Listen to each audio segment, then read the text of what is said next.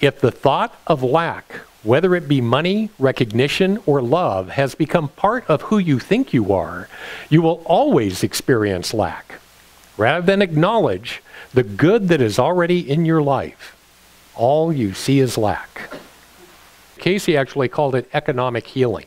That was the term that happened back in the 30s when most of the readings that he gave on this kind of thinking was all about. And he said, you know, just like the um, parable that Jesus gave of the talents, you know, and the one that had the one talent, he went and buried it down in the ground, and then he was really glad to be able to show, hey, I still got the talent after all that time. I didn't squander and waste it and blah, blah, blah. And, and the, said, fine, give that to me, and I'll go give it to the guy, you know, who had five talents and turned it into ten.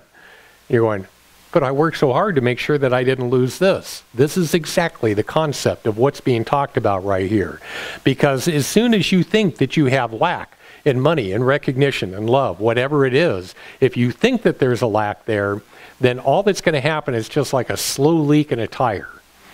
All right, it's going to continue to leak out, and it doesn't just mean that you're going to, you know, fall into ruin the next day, but you are on the slow track in the wrong direction.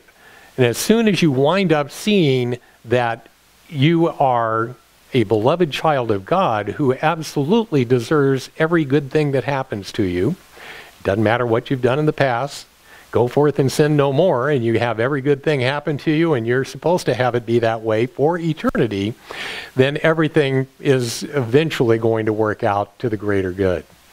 So if we go ahead and follow uh, both Tolle and, uh, and Cayce's advice here, you're going to wind up being able to turn that around and no longer see lack. You'll see nothing but prosperity.